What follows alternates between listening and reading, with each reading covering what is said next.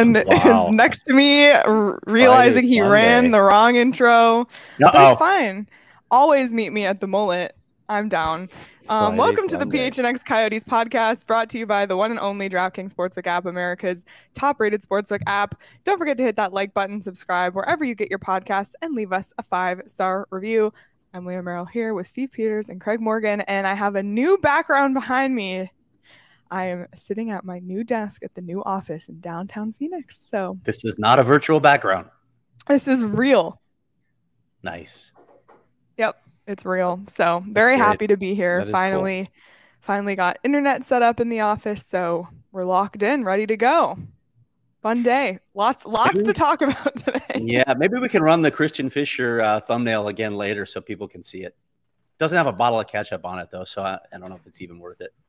It does not, but that's Jeez. okay. Um, we'll get ahead, to Christian. Wait, let's let Petey no, get Uncle. a shot. Who who did the catch up? Who? Yeah, you literally wrote that, didn't you? The catch up. Let's catch up with. Good. Yeah, Lord. that was Craig. Fish Friday. He's been making that joke all week. You shouldn't have been surprised. get away from the ketchup. I can't get away from it. Then we got hot dog things. We got the hot dog popsicle he sent us today. Oh, does that look disgusting? By the way, a yeah, hot dog popsicle. It, it clearly does. Nope. Like no. That's no, a big. No, thank you. That's a big no. Roaring Fork's already throwing shade. Great job, Craig, for all your hard work in setting the new office up. Thank you very much. You know, I I'm exhausted. I, I admit I'm exhausted. All the direction that I've been giving the staff from afar, it's you know it's frustrating sometimes. Meanwhile, Petey's literally like on his hands and knees installing flooring. So. Yeah. I did. It looks good though. I gotta tell you that the studio looking good. I can't wait. Are we ever gonna do a show there? Is the big question. Like when is? That? Yes, we will very soon. Well, like I said, we have plenty to get to today. We did talk to Christian Fischer earlier in the week. We're going to show that in just a little bit here, but the Phil Kessel news broke Wednesday night. Of course, after we pre recorded our free agents podcast, I just knew that was going to happen. Um, but a lot of what we said was still relevant about Phil Kessel. So let's dive right into it because Phil Kessel has officially signed a contract with the Vegas Golden Knights initial thoughts, initial reactions, surprised, not surprised. I'll toss it over to whoever would like to go first. We'll let Craig go first because he did the did the article. He just put on his glasses, so I know he's I know. he's, he's ready to read. Yep. Yep. And uh, you know, I think we all saw the Phil Kessel shots, the screenshots of him doing the interview, the the teleconference for the Vegas Golden Knights from the Ice Den Scottsdale parking lot because he had just come off the ice at the Ice Den after a half yep. hour skate, which was hilarious. And he made a point because they were telling him to fix his camera. He's like, I just got in the car. I'm, I just got off the ice. so it was like, give me such a break. A Phil Kessel thing to do for it his interview. Such a it? classic Phil Kessel moment. But anyway, yeah, I, I, have a I have a column up, sort of looking at Phil Kessel's tenure. I think a lot of people have seen that and reacted that. But Phil Kessel spoke yesterday because of that teleconference, and he said some things that I thought were fair. You know, when he when you talk about being a, a guy who's going to turn 35 for before the next season, wanting to win, and thinking he was going to have that opportunity here, and then having things change on him, I get all that. That's all fair. At this stage of his career, Phil Kessel deserves to go to a team where he has a chance to compete because he doesn't have much time left. I get that sentiment. And I didn't have a problem with him saying, even, it's nice to go to a team that's trying to win. That's fair. I, I know people get all bent out of shape about that, but that's a fair thing to say. Phil Kessel didn't say, oh, I, you know, they never tried to win here. They tried to win initially, and then obviously there was a change in ownership, there was a change in management, there was a change in coaching.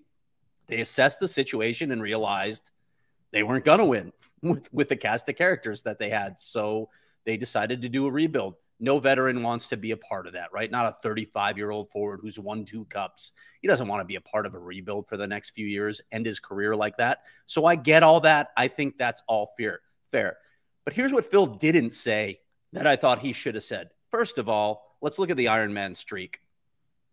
Phil Kessel is only eight games away from breaking what is now Keith Yandle's Iron Man streak. He's going to do that next season in Vegas, but he's going to do it because – the Coyotes kept putting him on the ice while he was here for three seasons, even when he wasn't playing at 100%. He had a groin injury early in his career that probably should have put him on the shelf.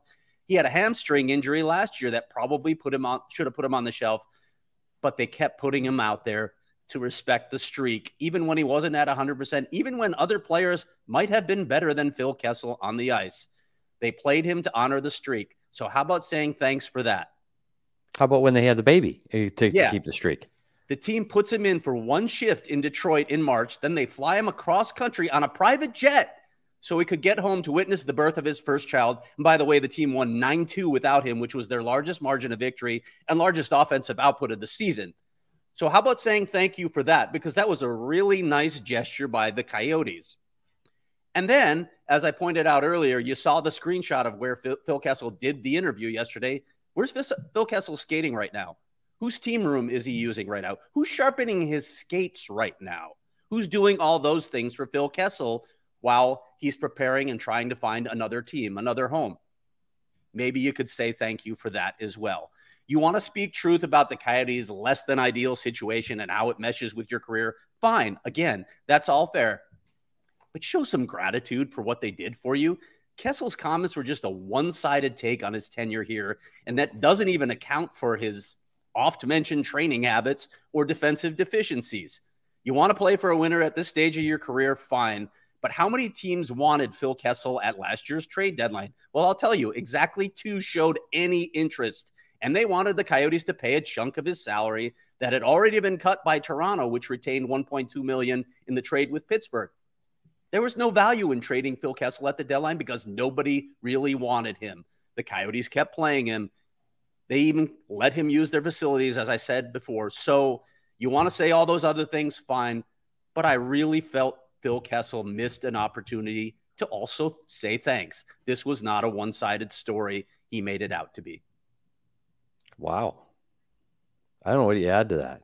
I, I think that, that, I'll just make it really quick. I think a couple things about Phil Kessel. I don't think he ever, um, he had a 20 goal season in 2021. Um, I thought last year he fell short offensively. His first season in Arizona, I thought he fell short offensively. Um, he became a better puck distributor than he was a scorer. Um, and his power play numbers, if they would have been up where he wanted them to be last year, he would have been gone at the trade deadline. Unfortunately, they weren't.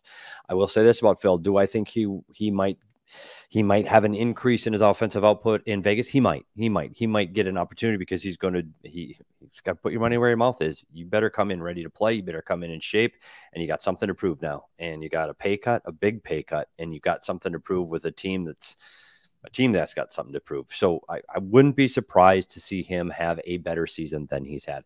I agree with what you said about the Coyotes. One other thing I want to say about Phil Kessel, and it, it follows him around a, a, lot around this league, and you hear it on, on Twitter and social media. Is he's a, I don't know if it's a bad guy or not a great locker room guy, and th those things couldn't be farther from the truth. I just wanted to say that inside the Coyote locker room, he was extremely well liked.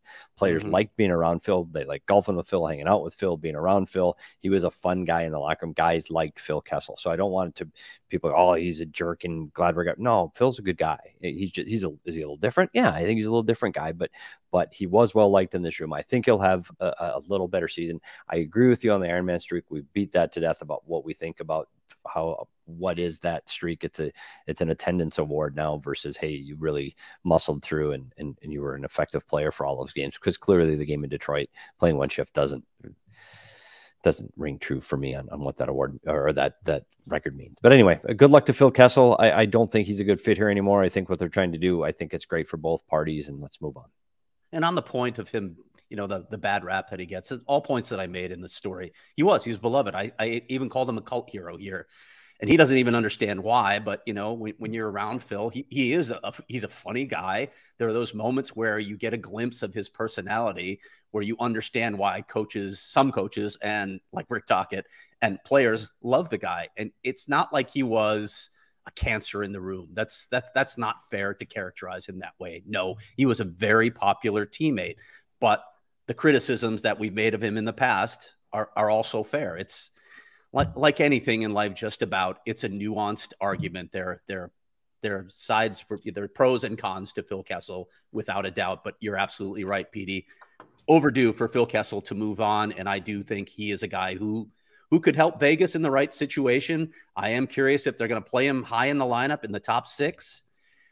There's, there, no there's some there concerns there. Clearly, there's some. Concerns. I don't think there's room there for Phil. I, I think Phil's a, he's a, he's a third line right winger at best. You got Reilly Smith, Mark Stone to play on the right side ahead of him. You're going to see Stone with Eichel for sure. Um, I'd be surprised if he gets any higher than the three hole right now, but that puts him with Nicolas Roy. we'll see. Uh, he's going to have a mm-hmm. different role. He's going to have a different role in Vegas for sure. And I'm not even convinced that there's room on the first power play for him. Yeah, and he doesn't He'll like playing with. Uh, he doesn't like playing with less than talented centers.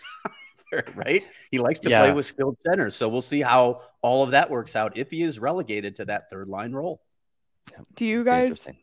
So, of all the other 31 teams in the NHL, were you surprised it was Vegas? Do you think Ooh. it's the best fit for him? And someone just made a comment that there's no additional state tax in, in Nevada. So, you know, that's a little bonus for him.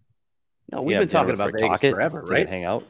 Yep. Oh, yeah. Vegas Rick Tocchet lives in Vegas. Yeah, they can go Rick out to dinner. there. He Kessel loves to gamble. He loves to golf. He can do all the things that he loves off the ice. Although he said on the interview he's not going to have a lot of time to play poker. We'll see. Uh, I think it would be funny to have like a uh, Kessel cam on, or maybe just uh, monitor the cameras in the casinos and on the golf courses, and you can probably track Phil's daily progress. Um, but I uh, we've been saying all along Vegas was the landing spot for him. They need offensive punch. They need help on that power play, which has just been terrible. So we'll see if Phil can help them. Yeah. And, and, of course, Vegas more than anything probably still needs goaltending help if they're if they're yeah, actually. You, you lose Pacioretty, you lose that offense, you lose that offense on the power play. Well, power play that was struggling as it was. Um, so I think this is the right fit for Phil. It's a team that he thinks can win. Um, you know, we've we had them winning the Pacific a year ago. I, I'll be surprised when we do our Pacific ratings, if we have them winning it again this year, I think I'd be surprised with their goaltending woes. But good luck to Phil. It's going to be an interesting story to watch. See what kind of um, return welcome he gets. Do they do a Phil Kessel video? Does Rich Nairn working on that, editing that right now for the Mullett Arena return of, of Phil Kessel? We'll see. nice. Oh Sorry to call you out, Rich. Remember that was Petey, not me. yeah, and, Rich and is say, editing it now. Say what you want about Phil Kessel, but he's still a two-time Stanley Cup winner. He's you know, in his mid 30s. He has a veteran presence, and you talked about how he's well liked in the locker room. So, in terms of what Vegas needs, it, it could be a great fit. So, and for a million know, bucks, yeah, a million five. like, seriously, Vegas, best of luck to Phil. Best yeah. of luck. And I had no problem with what he said that he wants to play for a team that wins. I agree with Craig's points. Like it, that that comment didn't bother me. Maybe it was the lack of gratitude for Arizona, but also, you know, we're not in his shoes, so I don't know what he's going through, but excited for him and excited for his his family and hopefully he can keep that Iron Man streak alive because he could possibly we don't know what's happening with Keith Yandle yet. He could possibly pass him if Keith Yandle decides to retire. Any are there any other... uh, odds, uh, odds associated with Phil Kessel's uh, season in Vegas next year yet? I don't. I'm not seeing anything for Phil Kessel. I was just curious how Vegas is as a whole. So I see right now for the championship, they're plus 2,000. So they're kind of in that front grouping um, of NHL Colorado, Florida, Toronto, Carolina, Tampa, Edmonton, Calgary, Pittsburgh, Minnesota, Vegas. Those are the odds on the DraftKings Sportsbook app right now. Or you can catch the Coyotes for plus 100,000 at the back of the pack if you want. Chicago's also plus 100,000. So the race is on. But um, if you want to lock in any team futures for the season, since we're still before the season, you can do team total points. You can bet on teams to make the playoffs. You can bet on teams to have 100 plus points in the regular season, which, if you looked at the Eastern Conference last year, that happened to many teams. So chances to get some good money there. Download the DraftKings Sportsbook app now if you haven't already, and college football. It's right here pretty much, and the NFL is around the corner. So, got an offer for you at the DraftKings Sportsbook app right now. If you download using the promo code PHNX, bet just $5 on college football and get $200 in free bets instantly. That's code PHNX only at DraftKings Sportsbook. And Sean, I think, is are you going to come in or are you going to? Okay, I'm going to read Sean's pick of the week, which he just commented. This is Sean's DraftKings Sportsbook pick of the week. Seattle Mariner outfielder Julio Rodriguez is on the verge of signing a 12 year, $400 million contract, a little bit different money than the Phil Kessel signing, taking him as an anytime home run hitter at plus 350 as my DraftKings pick of the week. So if you want to trail Sean, because he's been, and he's 21. Wow.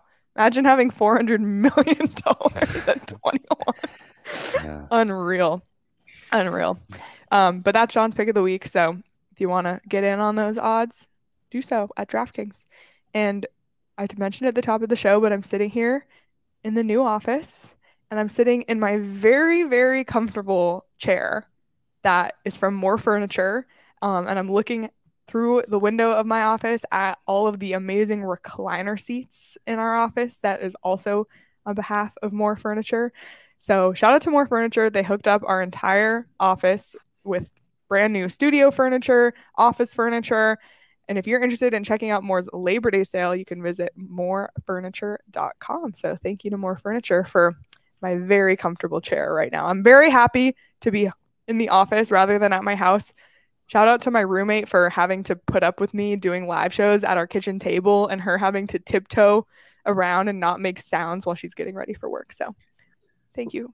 Thank you to Leah, her. I know that the uh, 41 degree Pellegrino is already in the refrigerator for me. Um, I'm just wondering if my lumbar pillow will be there by the time I arrive back in the office. Do you even know where the office is? Like, do we need to give you directions after all the moving is getting done, the building is done, everything's clean, the garbage is taken out? Oh, we'll give Greg directions by then. Maybe Craig can Craig, find his way down. you you gotta bring us lunch on the first day or something. You think? Buddy, I got the I got the bat signal yesterday. Hey, come help with the floor. I, I will say this: when you get those kind of projects, and this is nothing against some of our uh, home ownership helps prepare you for those kind of moments and being dad worthy, like a daddy, that helps. Like being like the dad vibe, the dad vibe. You call the dad in, like you, I- you know. it. Yeah. So, I mean, how many floors has Sean DePass put together in? No, of course not. Like, I just changed toilets today. I guessing DP hasn't done that either because over time and you own a home, you have to do shit like that. And so you got to put a floor in, call Petey. And Okay. how quick did it go in? If you, and I tell you what, Saul and I nailed that thing out. Like it was minutes and boom, done. Okay. Well, thank you for that. Thank you for your Sean, stop appreciate it. using the PHNX Sports account for your own comments. Enough. yeah, whatever. It's not like anybody heard it or it's going to live forever Oh on the my God. internet. Well, you mentioned I should bring in lunch. I feel like I sh- today feels like the hot dog episode, doesn't it? It I mean, we're talking about I, Phil Kessel. We're talking about Christian Fischer. There's been all kinds of hot dog news lately. I feel like I should bring hot dogs in when I come in. hot dogs are having their moment in the spotlight right now. I But will you know say. what I won't bring in, Leah? I will not bring in Ted's hot dogs because I know that you guys Wow. deserve superior hot dogs. So I'll find a Vienna beef place DP. close to the office, Pounded and I'll bring in some Vienna dogs for everybody. I love this rivalry, the the Chicago do you want me to Craig just bring in versus Oscar, Buffalo. You want me to bring Sean. in Oscar Mayer for you, Sean, since you're not discerning with your hot dog taste? and he can't defend himself right now too because the echo in the studio. So he can't. Oh That's my not fair. god! Leah, I All like right, it. By well- the way, Okay, the- the- lastly, the headset, to comment. That headset setup Leah's got, and the mic, that's money. Like that's really good. It's a good mic. Like, is I that are very- they all over I the new studio? Very. We these are the mics we use every time we go to four P. Oh, and, and those are our. uh, Oh, cool, cool. Yeah. Those are our out of the show mics. It sounds great. Anyway, all right, I'm right, just yelling. we we got, I gotta veer this veer us back go. on We the gotta- tracks. Um, yeah, so we- So we caught up with Christian Fischer the other day. It was a phenomenal catch up. Um, kind of. It does sound you like did that. not just say that. I didn't- didn't I didn't that. do it on purpose. I It's swear. bullshit. That's um awful. he's just he's just um, a, a fun guy got to hear about his off season you'll hear what he's been up to on the side um maybe a retirement plan for christian fischer. Oh my god, Um, that was that was a crazy nugget that he dropped on us. Yeah yeah. so really really great interview from christian fischer. Thanks again to him so much for joining us. And without further ado i think we should send it over to our catch up with christian fischer. What do you guys say? Let's do it. all right. Here is christian fischer. Show Christian Fischer on a, a is it a Friday fun day or is it a Fisher Friday? I'm not even sure. What wow. we should call that. Well, that works out well. It's good branding for you either way. But Fish, thanks for joining us. And since we're talking to you the, for, for the first time since uh, you know we we all got back in town, let's recap your summer. Hockey players often have more interesting summers than media members. Let's be honest about that. So, what'd you do this summer? Oh, um, obviously, start of summer is always, I think everybody, it's unanimous, takes a month off or so. So that was a big travel. Uh, went to, God, where did I go? I went to Cabo. That's usually the go to. I usually go down to Cabo uh, for at least two weeks or a week and a half uh, at the end of the season. Uh, that's uh, that's my happy place. That's where I sit with my bruised body and drink tequila. Um, did that. Uh, obviously, got back to Chicago. Always, uh, you know, go back there, see my friends and uh, extended family. Um, went to goodness, went to Napa for my first time. Got to do Napa. Got to do a little uh, little wine trip out there. Loved it. Um, my God, though, is it is it expensive? Are you a wine guy, Fish? Not a snob, Really? but I do. I mean, I'm not a snob, but I I love a nice glass of Red Boy. I'll tell you that. I've seen all these Uh, coaches. Like I had, we had D- Dave Tippett, we had Alf Samuelsson, and these guys who clearly didn't grow up drinking wine. Sorry if they're listening, because I know Tip's an avid listener, but they, they didn't grow up drinking wine, and neither did you. And all of a sudden, you become now you're wine guys. Like it's okay to enjoy a glass of red. Yeah. I get it, but don't be the guy that oh that has this bouquet. I'm not buying. it. Oh no, no. See, that's PD. Okay, I'm Fish. insulted that you even that even. I crossed know that's why I said it, Fish. I went that is my first. If that's my seventh trip to Napa, then yeah, then we're having the conversation. yeah, but to go see the beautiful wineries and have a good Yeah. glass of red, I'm Yeah, totally all in.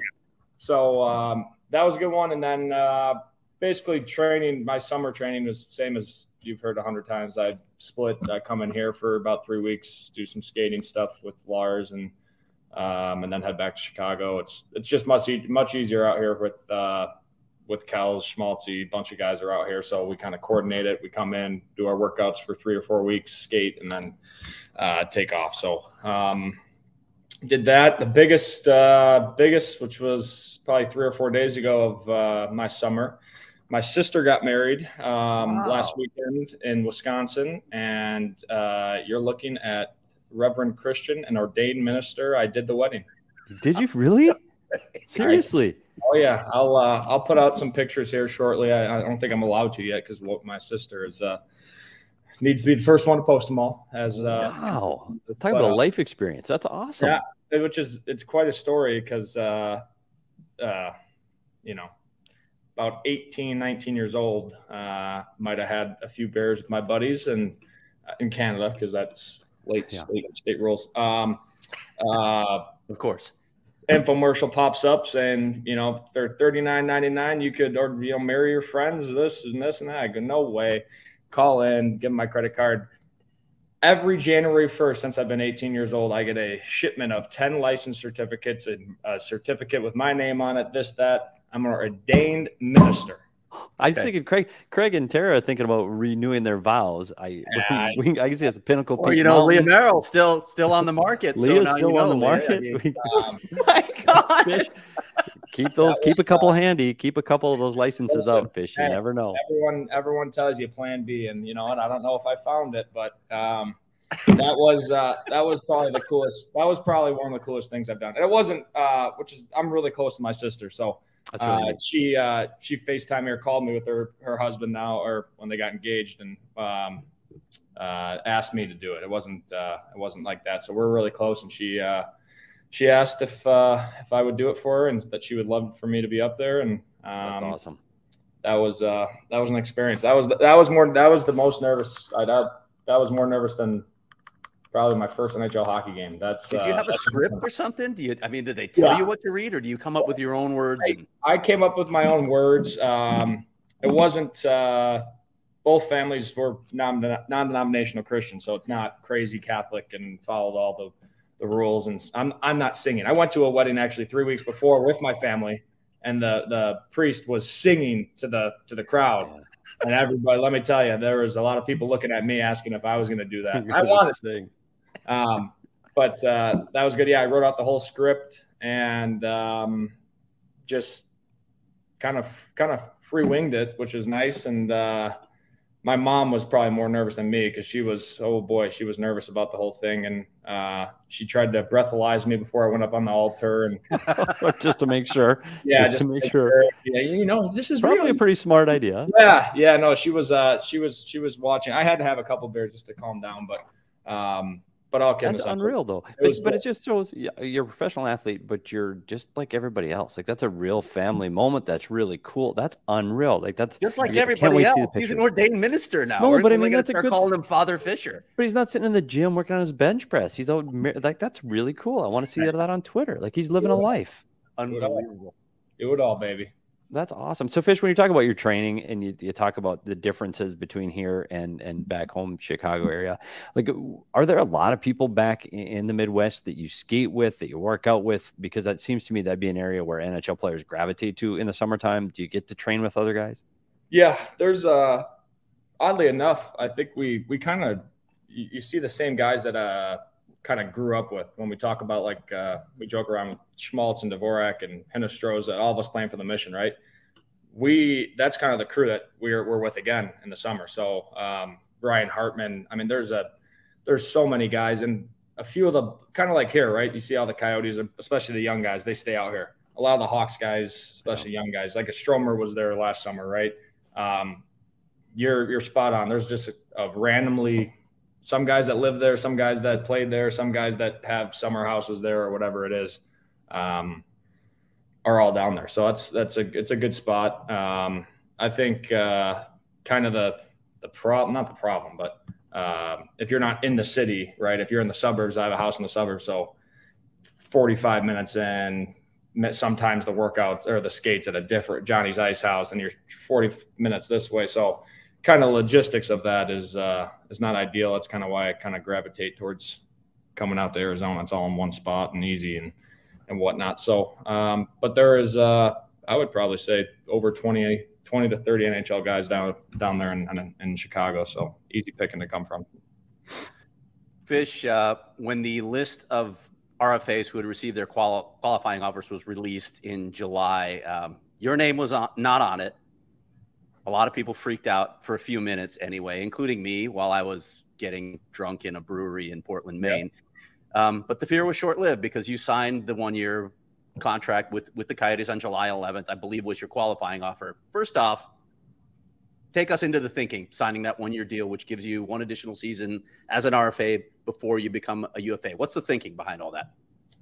Um, I'd say uh, probably the biggest thing um, or why. Uh, the last, obviously, the injury, right? Not playing those last 30 games uh, was tough. Um, and unfortunately, too, was, I started because the whole center to wing thing, right? We are out of centers last year. I started playing center. Yep. It takes a little bit. PD could attest. It's it's a whole different game. I mean, it's you're changing things, face offs. I mean, what the heck are those? I haven't taken one of those, and you know, um, so oddly enough, I started playing really well. That was probably the last, you know, game from 40 to 50. That was probably the best I was playing, playing really well, getting a lot of time. Um, and then obviously the unfortunate injury. So um, I'd say that played a big factor into that. Um, just not having as many reps and touches and points that I'd like. Um, I think there's a lot of opportunity with this team. Um, speaking to Bear, I think we have a really good relationship. I think he trusts trusts in my game. I think he could – um, rely on me in a lot of different scenarios. So I know that I, the is there for for me to take, and um, I just think I have I, I, have so much you know to give on a, on a season. I, I still think uh, you know my potential is, is way way way higher than than where it uh, has shown in the last year or two uh, with point production specifically. Um, I know I, I know it's uh, it hasn't been the, the easiest of years for me, and um, you know always tough when when points aren't going in. But I think uh, you know for for the summer to go on, I had that injury. I did a lot of rehab. Right, it honestly was probably within a week of that last uh, last game, so it was really close. And then got to have a full summer of of, of strength training and, and kind of you know really really hammering hard this summer. Um, is a big year for for me and my career, and um, I think just in my head, if if I had it my way and, and what I'm going to do is just have have the best year that I can, and and I, I really do think that it's uh, you know I'm I'm it's there's no more getting adjusted to it. I'm, I'm very comfortable in this league. I could play in this league. It's just I know I have that next that extra you know ten goals, that extra twenty points. I, it's it's there. I know I can do it. I've done it before. It's just um, a matter of, of doing it for for 82 games. You just gotta you got to do it every game, and um, that's that's kind of my thought process. But behind that, um, kind of do it a, a, big big prove it year one year one year thing, and um, and then hopefully uh, could could line out something uh, longer after. You talk about your the the injury, and you look at the this team at the end of the year. Clayton Keller goes down, Lawson Crouse goes down. Like the, decimated with injuries the last right towards the end of the season. So it sounds like it, but you you're 100% healthy. You're ready to play. There shouldn't be anything holding you back. Starting day one of training camp, you're ready to go. Yep, 100%. Okay, so you had the summer. You talk about the offensive upside, and we know you were kind of snake bit. You get close to it, you're around it, you get chances. It's kind of like Krauser a couple years ago, hitting the post all the time. What did you work on over the summer to help you prepare yourself for this year's training camp? Um, I, obviously, my skating is a big thing, and uh, you know, everyone says they, you know, you work on it, you work on it. Um, big thing for me was I, I lost about 10 pounds through the injury, not working out, that stuff. Um, got to cut down body fat, body fat, body weight. Um, that was a big thing for me. So coming in, put on a couple pounds of muscle, lean mass. Um, skating feels real, real jumpy, real fast. So I've been doing a lot of stuff with Lars, out here in Arizona um, as usual. But um, offensively, I think the biggest thing is what I've noticed in watching film and talking to to our skills and, and video coaches and whatever it is. My shot, I I have a really good shot, and I need to shoot more. Um, what that is though is you walk. You, luckily enough, I get to skate with Auston Matthews, probably the best to you know do it. He, it's just so quick, and you can't if you give that one extra stick, you, are screwed. It hits their stick, or you know it goes. It's not good um, getting the shot off as quick as I can or, or more shots. Uh, I haven't shot the puck nearly as enough as I should um, for whatever reason, maybe over, you know, making an extra pass or, or, not getting off quick enough, not thinking quick enough, whatever it is. So um, I think from my, from what I've seen in my own game and film, it's, it's the shot. I think if I could get that off, I, I know I could, you know, score a lot more goals um, and that way. So that's, that's been a big thing for me, just being able to, to get that off quickly, quickly. Um, you watch Auston's goals, it's not like he has the hardest shot. It's it's on and off his stick before, even if the, the goalie it's not there, right? The, the, the shortest little pass could beat the goalie and one time it in. So um, did a lot of a lot of video and a lot of looking at stuff like that. How to how do those guys score those goals and and hopefully translate that over to my game. So, all of that being said, we've talked a lot about you've adjusted to that center role. You've worked on all these things in the offseason. So, what would you say your role is going to be on this team going forward into next season? Or what do you what do you see as your role? Or have you talked to Coach Tourigny about what he sees as your role for this year? Yeah, I mean, I, I think you, you look at our roster, right? There's um, it's pretty pretty, you know, a lot of there is actually some movement around. Uh, with opportunity. Like I said, this this year, and I think what they preach on this is, uh, especially with our team and kind of the whole you know rebuild and all this stuff that's going on. There's there's opportunity, right? Bear plays whoever is playing the best. Um, I think you you look at other teams, right? The Kucherov is going to play first power play for the whole year, and that's that, right? Uh, that's as simple as that. I think the the advantage of players being on where we are and on this team and, and having this opportunity, it, it's there for the taking. So, um, you'd like to think that you have a set role. I think maybe only Clayton Keller could could say that he's he's the guy, but um, I think anywhere top, I mean top nine player, whether it's right wing, I think it's nice having that center role, right? I think that obviously comes along with having to work on the the draws, right? If I could come down and be relied on on on draws, you know that obviously helps with with PK stuff too. I could go out as the, the second centerman, right, and, and always have, or we could send out me and me and Krauser, right? If you know, he could trust that I could take the draw, right? That's a that's a big thing. That that helps a lot of minutes. So um, I think, I mean, I'm very versatile. We always talk about that. So I mean, I played, I could play that. I played last year, fourth, fourth, third line center. I could play second line right wing. I could play power play PK. It's it's all there. So um, really, I think the the biggest thing is just having the consistency, right? You have to have, like I just said, whoever's playing well is going to get the minutes and going to play with those top end guys. And um, I think it's just up to up, up, to me and a lot up to everyone to to kind of take that opportunity. Well, you talk about those. We looked at the roster and we've talked a lot of the new guys. We had Nick Bjugstad on the other. Nick Bjugstad, sorry, stumbled stumbled through that one a little bit. Um, Zach Kassian. We've talked about some of the new players coming on board. Are guys slowly trickling in here from some of the new players? Stecher, have you met these guys? You know, have you talked to them on the phone? Eh, eh, we talked about that middle core, and you're part of that middle core leadership group. Have you reached out to these guys to help cohesively build this group before they get here?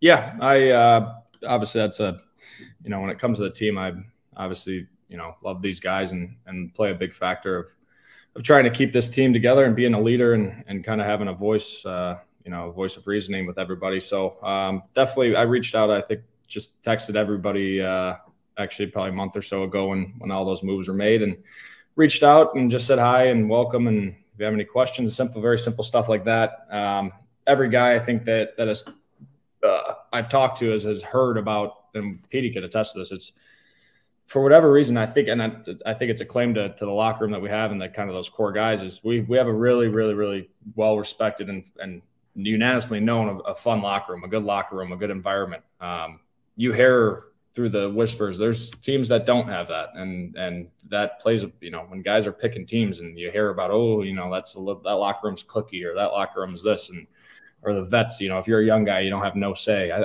I think he, we do a really good job of if you're, you know, we're one big team. There's no head guy that's running the whole thing. It's we're a big, big old thing. I think that's a, a testament to Bear as well. Um, kind of how he runs. It's it's one big old brotherhood, and um, that was a that was a really big emphasis, especially as his first year. So. Um, but back to those those new guys, I think every guy that uh, that got traded to us or we signed is is really excited to be here. Um, guys are starting to slowly trickle in. Uh, Stecher to, was here today at the skate today, so um, and it's so much funner once probably the once the start of September you'll you'll mostly have everybody here and um, those first three weeks are so fun honestly like those just being able to skate be in the locker room again and um, chirp you know chirp guys and and just banter locker room all that fun stuff and then on the weekends too we uh, um, try to obviously you know have some cookouts or barbecues, watch football here on you know coming up here. College football is coming up, so um, always that stuff. That's you know that's how you get to know new teammates. I'm sure they're always you join a new team, it's always scary, right? Especially guys that have been you know Cass has been in you know Edmonton for whatever how, however long. You know you come to a whole new locker room not knowing anybody it's it's intimidating so that's the last thing we want from uh, from guys that have been been here for a long time is to just to welcome everybody and make them feel comfortable and um, i think we do a really good job of that so hopefully uh, guys will be in here in the next uh, week or so and we'll just have uh, keep kind of building and then training camp hits. Do you feel that transition fish? Like do you feel like because you were part of that you talk about that core, and I remember Rick Tocchet making a big deal about that middle core. And you were you came in here, you were a young guy, you were a new guy, you were a rookie, you were a guy watching around, and now you're kind of you're evolving into gosh, you're one of the guys that's been here for the longest. You're a guy that's been around the organization. You're a coyote, like you belong yeah. here. And we talked to Lawson Crouse a week ago. I think Lawson, even though being drafted by someone else, has started to wear that same badge of yeah, I'm I'm, I'm maturing into the game. Do you see you guys sharing that leadership group, and I mean that across that whole middle core, you know, Clayton Keller, Chick, uh, there's that group of guys that came in through this together. Do you feel you've matured with this group? 100. percent I, I, I think that's been the funnest part. Honestly, I, I, think I've touched on it here and there with with other uh, with other talks, but um, going through that with being able to do that with with the same guys. I mean, those all all the guys that you just mentioned are you know going to be lifelong. Some of my best friends that that'll be you know in my wedding. So um, those guys are you know to be able to go through the trenches with them and you know come out on the other side. That's whatever you do. If you do that in business and sports and whatever it is, that's a that's a fun feeling to to go through that and you know it's it's not fun too. So you need that you need to rely on the other guys, right? We've all had I've had bad years, you've had bad games, you've had bad this or that. You you go through it, you pick each other up, you work harder, you do all that fun stuff. Um, there's definitely been a transition. I think we all recognize that we, when we're uh, sitting around just chatting about random stuff, that's always funny to think that you know we're you know Clayton Keller, we're all going into like our seventh year here as Coyotes. That's wow, bonkers, right? Beyond beyond your imagination. It's weird saying that because like you're exactly right. I remember year two or three and being scared to walk in because Richie's gonna yell at me. um, so uh, it's fun though. You, you learn so much, and and you honestly you don't do that without those those guys before you. You don't. You and and I think that's been the biggest thing is we had we've had some really good teams of some really good character guys and leaders to to learn off of. Yeah, and let's let's just stay with that for another second because you mentioned Richie. Obviously, Shane Doan's still around. There've been some some guys that you've really been able to lean on, but whether it's those guys from the past or even that group that they brought in last year that was a bunch of good guys, but most of them are gone now. Um, do you feel like an increased sense of responsibility now? Because it's it's really on your shoulders now. Those those guys aren't around anymore. It is you. Yeah. I, I think I mean as I, I think it could vary from from person to person, but I'd I'd say most of us, I think it's you want that. You want that, you know, responsibility. Um, you know, like you said, those guys when I like you, you kind of have the feeling, right? You know what the feeling is coming into your first year, second year. You know, when you know Gunner shows up to training camp, you know that feeling of, oh, you know, I got to make that pass. You know, it's a vet. You got to pass. Now you know, right? You tell that guy, hey, Gunner, you're we drafted you because you could shoot the puck to the top right corner better than anybody. Shoot it. Don't pass that. Even if it's Kels on the back door. Don't feel bad. You missed the net. You missed the net. That's hockey. Stuff like that. Um, that kind of is it plays a lot of factors into it because that could you know affect kind of how you play. Oh, man. Um, you get. I, I, like it. I like having the uh, the responsibility. I think um, you know, kind of getting to to you know steer the bus and, and kind of move forward and and and go through it. You know, it's it's fun. I think you relate the the best scenario. I think and what you why we all work hard and why we we stick this out. We gone. You know, this is from year one, right? We've had that year with the bubble where we've, you know we had a really good team. We go for it. It came in 2016. It wasn't. We were terrible. You know, not good. Bad record um, and then we're back, you know, we're in a rebuild. We go through this. There's you go through so much stuff. If you're part of this team, in which what you just said, you know, being here, bleeding coyote for seven years and, and working and doing every summer, you want to work to the goal of making the playoffs every year and having a chance to win, right? And um, we believe in in the plan. We believe in in the team's plan and the arena and Bill and and, and structuring this team. Um, but it really just you, you do your part and you want to move towards that goal. I think the most satisfying thing would to be, um, you know, to to come out on the other side of, of being a coyote and and you know making this organization a you know a top end team to you know you want to come, you want to play. We have a fantastic way of life out in Arizona, but um, you know it all comes down to making the playoffs and, and having a chance to win every year. That's that's the way. That's where guys sign. That's where guys go um, we all know it doesn't matter about the weather or this or that. We we got to make uh, make a change here and then start you know moving towards that goal of, of having a really good team and, and making playoffs. That's what it comes down to. So we have to ask because it's been the thing that everyone wants to know about, and we've been asking all the players who've come on our show over the last couple weeks. The arena, um, obviously, it's a unique situation for an NHL team, but we've gotten the chance to see it. So I'm wondering, have you gotten the chance to see it? What are your thoughts on it from a player perspective? And this week they announced the name that it would be called Mullett Arena, obviously named after donors, but simultaneously just a great name for a hockey arena. So I'd love your thoughts on playing at the ASU multipurpose arena as a player and also your thoughts on Mullett Arena as the name. Yeah, I mean it's uh it's obviously the talk of of the Coyotes, right? Is uh, this this ASU arena? Um, obviously, I mean, not ideal. Obviously, it's the NHL, and you, you don't want to be playing in a small arena. We all I, that's unanimously. I don't think anybody could argue with that.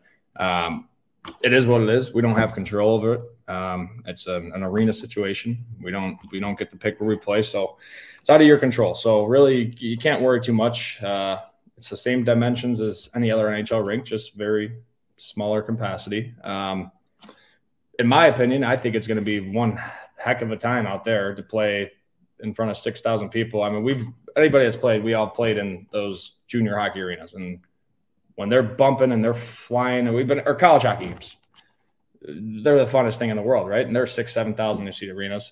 You have a time. Um, that's it's it's going to be I think for the fan experience is going to be the best. You'll never get to do this again in the NHL. You'll never whatever however long we're there, three years or four years you'll never get to be able to watch an NHL hockey game in a 6,000 seat arena and watch Ovechkin rip one timers. You know, that's never going to happen um, ever. So that's, uh, I don't think, I mean, everyone talks about it. It's such a big deal. I listen, by, I think by game 10 there, no one, it's the normal, it's a normal, another game. Obviously, the teams that coming in for the first time, it's going to be a little different, but um, and hopefully we just use it to our advantage, right? Hopefully we we have some, you know, it's small. We're gonna have hopefully a little coyote section out there going bananas, and Petey will be and oh yeah, I'll be there. They're uh, putting ketchup on their hot dog. ketchup on dogs um, with my mullet. There it is. Yeah. Speaking of like fish, have you had a mullet? Have you had a mullet? Did you have, have, a mullet? I've, I've, not had a mullet. mullet. What year were you born? Ninety-seven. Yeah, so you missed the whole fish. damn thing. You missed the mullet thing. I did. Can, Yeah. We'll, we'll send you the photos of Petey with a mullet. I have not had a mullet. We have it right here. Oh, there. it That's a is. See, now solid you see mullet it. fish. Okay. Like, look at that mullet. That is money. Oh That's my That's god! the '80s, buddy. Welcome to the '80s and mullet arena. Fish, Ah. before before you we let you go, and you took all this. Appreciate you taking this time. Um, yeah, I know how busy you are training and skating and stuff. Unfortunately, this is for a Friday show, and this we have Friday Fun Day. good thing. Yeah, it's fun. Well, for him because he's on the spot, we're gonna put him on the Friday Fun Day spot. Okay. Okay. So every Friday Fun Day over the summer, the three of us have come to to help people figure out what to watch for the weekend, and we recommend our weekend binge. It's something we do every single Friday here. We recommend either a show or a movie that we are watching or going to watch, and we try to sell that show. Like, why are we watching the show? So, Fish, on our Friday Fun Day, what is your weekend binge? Is there anything you can recommend for people to stream this weekend? Okay, so I have three thoughts that come to mind. One, I just finished two weeks ago re-binging Game of Thrones. Psycho, Nice. Psycho move, dragons. Psycho move. Obviously, that's not a weekend thing. That's a, No. that's a couple month commitment. You got to commit to that. Um, so I committed to that this summer. Uh, rewatched. I really I recommend it because you miss a lot of things and you think about a lot of things. If you like that, I'm not going to tell you. If you don't like Game of Thrones, then whatever. Don't I don't really care. uh, two, uh, this would be a good binge this weekend because you could watch three episodes. Would be Hard Knocks. Um, the Hard Knocks on oh, wow. the uh, Detroit Lions is on right now. Fantastic, awesome, awesome. Uh, it's on Hulu or HBO, one of the two. Um, but uh, that new that I forget. I wish I knew the name of the head coach, but is if you watch this, you would run through a, a wall. This guy Yeah, is man. unbelievable, awesome coach, intense as crazy as hell, but um, good show. And then three, which uh, I think me and Craig talked about, um, is a new show, and I actually am going to start it this weekend. Um, I've been told by my family members and girlfriend we are starting the bear, um, which is obviously Comes up a lot on our show. Uh, I've heard great things. Awesome because it's in Chicago and it has the sh- the cooking, so you're familiar with the the restaurants. Uh, you know, the guy worked at Alinea and, and all these places out there, and um, and who doesn't love a good beef uh, beef sandwich from from Chicago? So uh, I've heard crazy things. I've heard really good things. So uh, that's going to be my binge. So we could watch it all together. That's beautiful to hear that you're going to be watching the bear. You're going to Yeah, love. like By the way, there is a shot of Gene and Jude's in the bear, so you'll see it. And I Got and. I know you're a fan. I am I'm a huge fan. Bring your own ketchup. BYOK. we knew it was the gonna ketchup come up. topic may come up, up on the show. I, I think I don't even it. like saying that publicly. If somebody, if Gene and Jude found out, I would, I wouldn't. I'm going to be banned from the place. Oh my goodness. All right, Fish. Well, listen, thank you for carving out a half an hour of your day to do this. We always appreciate, always love having you on the show. Great chatting with you, my man. All righty. thank you guys. I appreciate it. But won't won't be the last. Thank you again to Christian Fischer. Unbelievable interview. So entertaining as always. And also, actually, I'll get to it when we get to weekend binge. But any initial takeaways from Christian Fischer? He's an ordained minister. I mean, how do we not talk about that? How was that? That's that was my craziest takeaway from the interview. I, I could not believe it when he dropped that on us. Can you imagine having Fish marry you? Imagine the, just how much fun it would be to have Christian Fischer marry you. I I know might, that I'm maybe- I might have to renew my vows just so I can Yeah. experience that. why not? Why not? I, you know, for me, it, it- it's it's going to be interesting to see how Fischer responds to what was a less than promising offensive campaign. Like, it, what has he done over the summer? What has he done to prepare? He wants more responsibility. Wants a bigger role. Let's see how that turns out. I mean, there's one thing about a team that's rebuilding. There's always a spot, and uh, Andre Tourigny is a guy that plays guys that that deserve it and earn it. And we saw with Travis Travis Boyd last season playing in different spots. Um, and having rose to a first line center for the first time, it, does Christian Fischer get one of those opportunities? Does Christian Fischer improve um, some of those areas that he wanted to improve on over the summer? That's what I'm looking forward to seeing out of Christian Fischer. What what can his ceiling be? I'm glad you brought up Travis Boyd because it's a really good example. We know in this league, a lot of times it's about opportunity. There are a lot of guys who think that they can do more than they're being allowed to do because of their roles. Christian Fischer is one of those guys. He really believes in his game. He, as, as he told us, he, he thinks it's there. There's more scoring, there's more offense, but you got to get the opportunity. You obviously have to earn the opportunity in the NHL. So it'll it'll be a very interesting season for him. He's you know under team control for two more seasons. Obviously signed for this year, and then he'd be an RFA for another season what comes beyond that, right? It's going to be, you know, again, a lot of that will have to do with opportunity, but a lot of it is also in Christian Fischer's hands. Another point that I felt like he really drove home, or that at least this is the sense I got from what he had to say, but just the, the locker room environment for this team, and I have no idea. Like, I have no idea personally, but it just sounds like such a positive experience. And because of that veteran presence over the years, with he mentioned Brad Richardson, Richardson, Shane Doan. We had the veterans here last year. It just sounds like, you know, such a, a nice group. So if you're going to have a team that's struggling and going through this rebuild together, it's nice to know that everybody kind of gets along and that there's this mentality. And I feel like that's the right thing in place going forward for when the team does, you know, want to actually win some games and be a competitive playoff team. So that was another thing that stood out to me about that interview. And it's funny, we've talked a lot this week about all of the NHL players, not just Coyotes players, but NHL players skating in, in, Scottsdale. And it's still 105 degrees out. So we keep asking, like, why is everyone coming here? And I finally decided it has to be because you can get Four Peaks beer anywhere in the valley and you can visit the Four Peaks 8th Street pub. So that has to be the reason. Why else would they come here in 105 degree heat? Um, we love Four Peaks, obviously, on this show. I don't know. I might go drink one after because we have a whole beer fridge in this office, so full of Four and Peaks. It's Friday, and it's Friday, and we'll be at Four Peaks Eighth Street Pub this coming Wednesday, August thirty first, for the last Wednesday of the month. We'll be Pete. All of PHNX will be doing shows all day long, starting with us at 11 a.m. So stop by the Four Peaks 8th Street Pub on Wednesday, August 31st for good fun, food, and beer. And speaking of last Wednesday, we'll be announcing our next winner of the Toast of the Month sweepstakes then. So enter to win the Toast of the Month sweepstakes. You can win a $50 Four Peaks gift card, a PHNX shirt of your choice, and a PHNX annual membership. Go to gophnx.com or click on the link in the show notes. You must be 21 or older and enjoy responsibly. You don't have to be 21 to come by Four Peaks, though. The chicken tenders, amazing, great food at Four Peaks. So we hope to see you this Wednesday. And before we get into weekend binge, I just want to let everybody know to check out FOCO, the leader in sports merchandise and collectibles. FOCO's got you covered with the best Arizona merchandise. They've officially licensed gear for men, women, and kids and everything from bobbleheads to swimsuits to Crocs. Head on over to FOCO.com or click the link below in the description for all non presale items. Use the promo code PHNX for 10% off. So Christian Fischer brought up Hard Knocks. Um, obviously, they're going to follow the Arizona Coyotes not Arizona Coyotes, Arizona Cardinals. That would be something though. Um, the Arizona Cardinals in season. So I'm really looking forward to that. But Christian Fischer sold me on Hard Knocks. So I actually started watching the Detroit Lions Hard Knocks, and he's so right about their head coach. Unreal.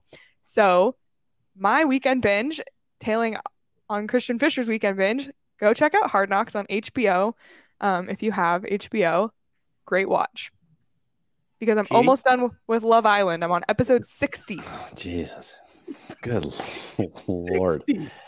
60. Yeah, but well, check out Hard Knocks. I'm just gonna I'm gonna go with a movie, and I'm gonna go with one of those that we talk about must watches. This is really old. You're going way back. It's a 1967 release. It's called Wait Until Dark. It stars Audrey Hepburn. It's very Alfred Hitchcock esque, and the whole entire movie takes place in an apartment in New York City. And I tell you what, high end suspense. And I don't, you know, it's cookie cutter movie after cookie cutter movie now and superheroes and all this. This is in a room for an hour and 40 minutes, high suspense, good acting, good storytelling. Highly recommend. It's on HBO Max. Wait until dark. And I'll tell you this I originally saw this as a play back in the 70s and all took place on one stage because it was written as a play and it's absolutely wow. phenomenal. So, wow. Step out of your comfort zone and wait until dark. All right. Well, I'm uh, going to take up a little bit of time here, and I'm not sure oh, if no. Sean DePaz is going to. Uh, yeah, I'm not sure if he's going to work with me here because I sent him something so I could show up PD, but I've also been slandering Ted's hot dogs, so I'm not sure if he's. Oh, there it is. Wow. First of all, I want the I want you all to keep these key dates on your calendar. Oh, The Handmaid's Tale. There you go. See, there's some key series coming up, and obviously, I watch some of these with my family, but these are some key series for me.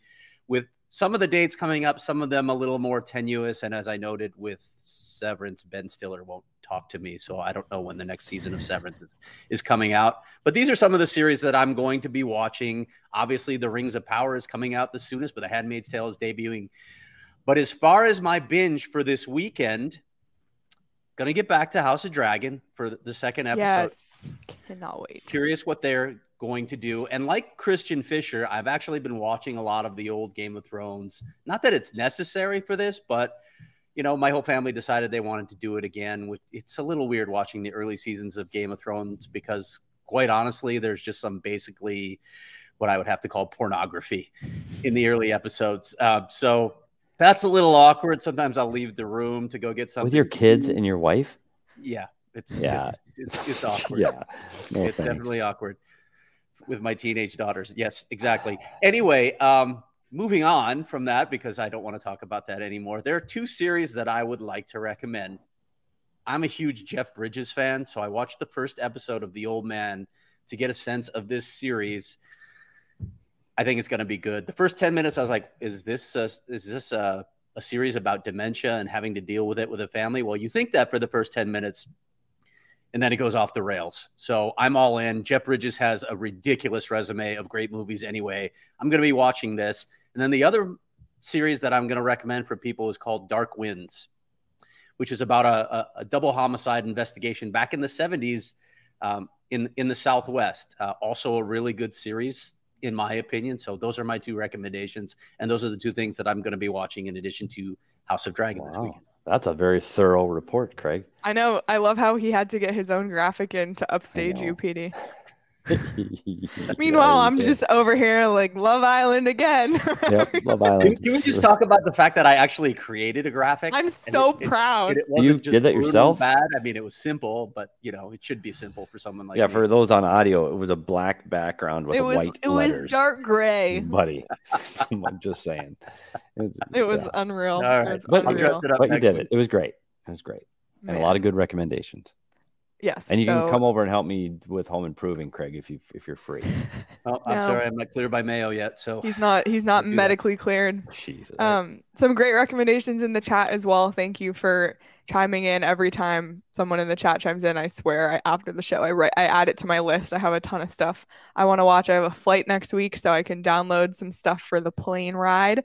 Um, thanks Mhm. to Where everyone's you going, Leah? recommendation. 'Cause You won't be on that Wednesday show, will you? you No, I'm going. To, I'm going to New York City, and, I'm gonna see Harry Styles live at Madison Square Garden. Wow. There it that, is. to be that was not the purpose of this trip. I we bought those tickets literally last week, but um, Do so- you expect to see some content there, Leah? Like I don't know. yeah, I'll tweet. Before you walk in, it wouldn't be bad to film a little clip before you go into MSG. Just saying. Leah, would you be willing to rush the stage?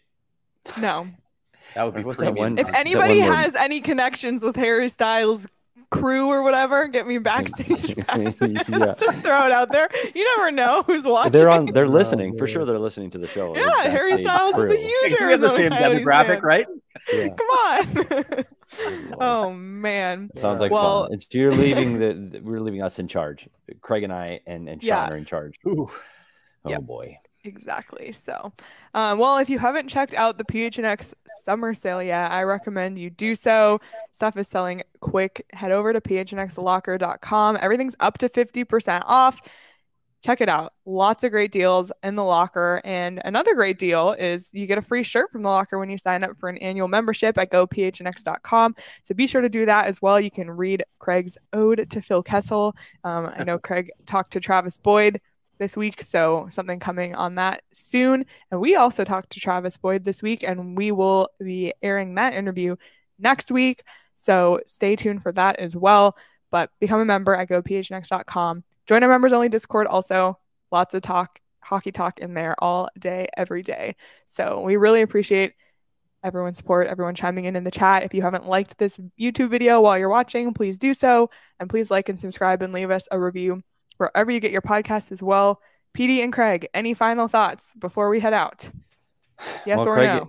No, I'm just I am mildly concerned because people know I have some anxiety issues. It is only Friday, and I'm already worried about next Wednesday, Thursday, Friday. Without You'll be you. fine. You you guys have a whole plan, which we will not reveal yet, but No, we some can't. we do. exciting We- stuff coming up.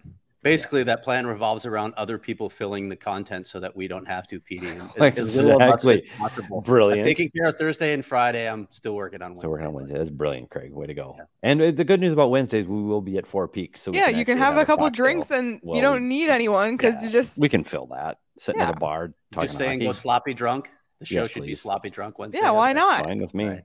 Could be fun. In. yeah, could be be a lot of fun. Um, everybody, thank you so much for watching and tuning in. Enjoy your weekend. Please follow us on Twitter at PHNX underscore coyotes. Follow me at Leah Merrill, PD at S Peters Hockey, Craig at Craig S Morgan, and Sean at Sean underscore pause. Enjoy the rest of your Friday. Enjoy your weekend. We'll be back live Monday on the PHNX Sports YouTube channel. Until then, we'll see you next time.